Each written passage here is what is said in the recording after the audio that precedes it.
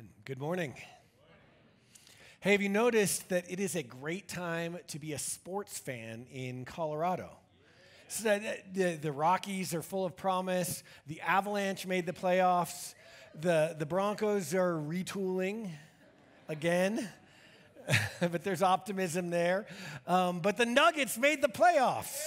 Come on, for the first time in five years. And, and this is exciting. We're a basketball family. We've followed the Nuggets through the, the, the old days, the thug days, the, the Melo and Iverson, how's that going to work days? A lot of offense, little bit of defense.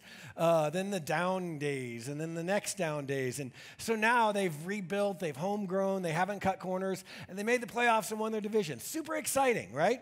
Um, and where they are now is, is of particular interest to me. It's fascinating to watch because what happens when you get to this point, the last couple weeks of the NBA season, is that the teams sort of bifurcate. You get two paths. The teams that didn't make the playoffs and um, their season's effectively over, they start, you know, like. Um, if LeBron James gets a hangnail, then they shut him down for the season, just for precautionary reasons. And then they play their young prospects, partly to see what they've got and, you know, where they're not, there's not as much jeopardy if they lose the game, but partly to, in fact, lose the game in a dignified way because the more you lose, if you're not going to win, the better draft pick you get.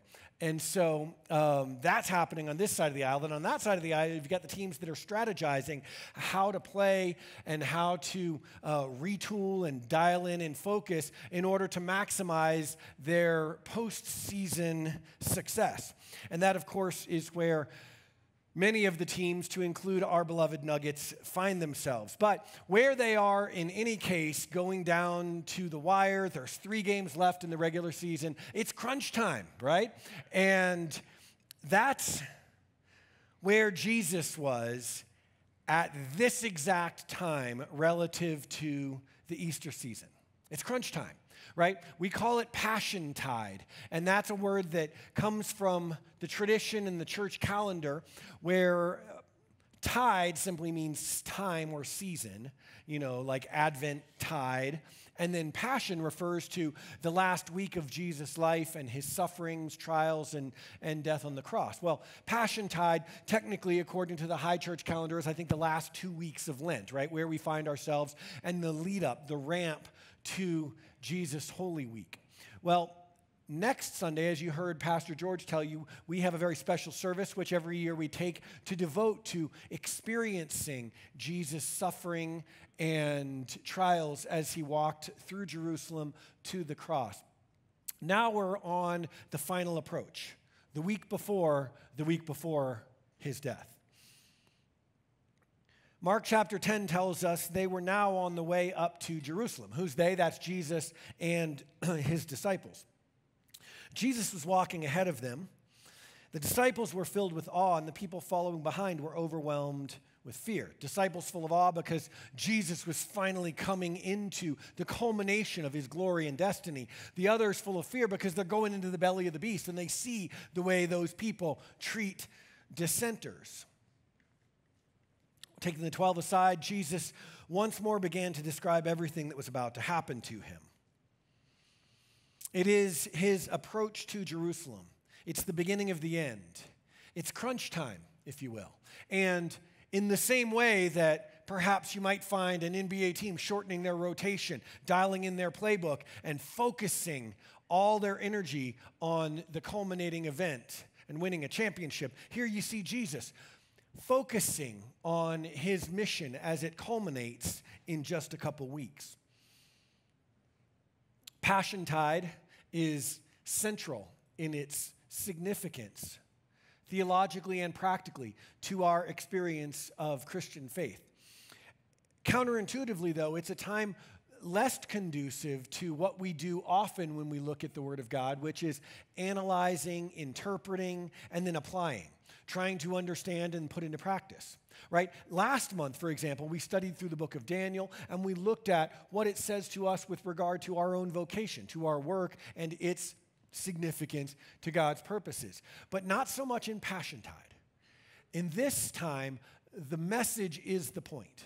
Experiencing Jesus' road to the cross, walking with him, as the Apostle Paul write, no, wrote, knowing this love that surpasses knowledge. That's our aim, to experience that which you can't know from a book and in a classroom.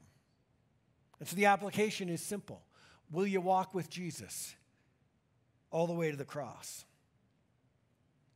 This morning we're in crunch time and we're looking at Jesus' approach. His last couple of weeks before he enters Jerusalem, the scriptures say he turns his focus resolutely toward the holy city. He knows what's coming and he's dialed in. We're going to look at it from three vantage points. The first is the Gospel of Mark. As we started, the story picks up, if you'll skip down to verse 46. They reached Jericho, which is a suburb of Jerusalem, and as Jesus and his disciples left town, a large crowd followed him. A blind beggar named Bartimaeus, which is son of Timaeus, was sitting beside the road. When Bartimaeus heard that Jesus of Nazareth was nearby, he began to shout, Jesus, son of David, have mercy on me. Be quiet, many of the people yelled at him, but he only shouted the louder, Son of David, have mercy on me. When Jesus heard him, he stopped and said, I'm sorry, but this is crunch time and I got to stay focused. Like, that's probably what I would have said. But Jesus said, Hey, tell him to come here. Now, his handlers, his entourage are probably like, Jesus, hey, focus. We're going to Jerusalem. They're trying to keep people away from him. But he says, No, no, no, come here. And he asks the man, What do you want me to do for you? Well, I, am not so much looking to analyze this story and break it down and see what Bartimaeus and his interaction with Jesus means for us, as to look at what it means on the broadest scale. Here you have a man who, by the social order of Jesus' day, was at the bottom of the social totem pole. He was a low class guy, and he's making a scene. To Jesus' followers and to sensible religious people who read the events of these days, his involvement in the scene, his thrusting himself in the middle, was obtuse and off point. He was unwelcome in every way. Our title this morning is The Unwelcome. Look over in the Gospel of John. This is a second gospel writer and companion to Jesus. And through the lens of his attention, we see another episode. Jesus entered Sorry, wrong passage. John chapter 12. Six days before the Passover celebration began, Jesus arrived in Bethany. That's another suburb of Jerusalem, the home of Lazarus, who was the man he had recently raised from the dead. A dinner was prepared in Jesus' honor. Martha served, and Lazarus was among those who ate with him. Martha was one of Lazarus' sister, the other was Mary. Then Mary took a 12 ounce jar of expensive perfume made from essence of nard, and she anointed Jesus' feet with it, wiping his feet with her hair. The house was filled with the fragrance. But one of Jesus' companions, Judas Iscariot, the disciple, of course, who would soon betray him, though none of them knew that at that time, save for Jesus, said that perfume was worth a year's wages. It should have been sold and the money given to the poor. Not that he cared about the poor, he was a thief, and since he was in charge of the money, he stole some for himself. But Jesus replied, Hey, leave her alone, and comes to the woman's defense. So, here you have two episodes in crunch time, both in the last week or two of Jesus' life, on the approach, the final approach to Jerusalem. Two characters who were off script, two people who were low on the social order, outcasts in their own right, both making a scene. So you have the low class man foisting himself in front of Jesus. And now you have a chemically imbalanced woman doing highly objectionable things, or at least so it must have seemed to the disciples. And you're like, oh, it's probably cultural context. No, dumping perfume on someone's feet in the middle of a meal was weird then too, right? And they're like, what are you doing? And then one of them speaks up and he's like, hey, we're in crunch time. Every dollar counts. We can't just be wasting money willy nilly at Starbucks. This, but this stuff could have been sold. We got bills to pay. We got kingdom to advance. What are you doing? But Jesus got in his face too. Luke 19, third gospel author, third vantage point on this critical crunch time approach. Jesus entered Jericho, so probably didn't go back to Jericho. This is probably two different events on the same stop in the town of Jericho on the way into Jerusalem.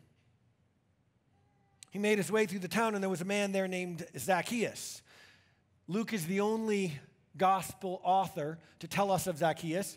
Perhaps Zacchaeus' story didn't make it on the others' radar screen. Maybe they weren't there. Who knows? But he saw fit to include this story. He was a chief tax collector in the region and had become very rich. Why was he rich? Because he was extorting money from the people.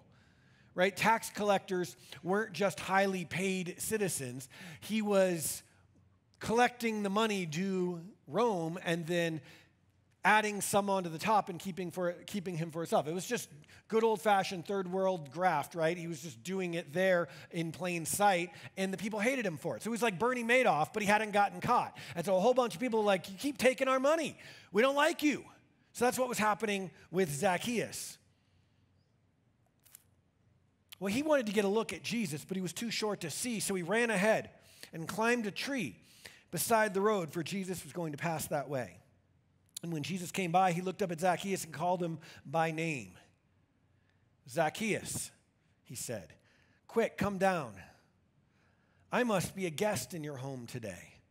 Well, Zacchaeus quickly climbed down and took Jesus to his house in great excitement and joy. But the people were displeased. Of course, the people were displeased. He had gone to be the guest of a notorious sinner, they grumbled. So you have the socially awkward, low class man foisting himself on the scene. You have a chemically imbalanced woman doing highly objectionable things. And now you have a hated sellout impertinently pushing his way in. He didn't have any business with Jesus. He's been undermining everything that we've come to believe Jesus stands for. What do all three of these encounters have in common? All three were outsiders. They all caused consternation among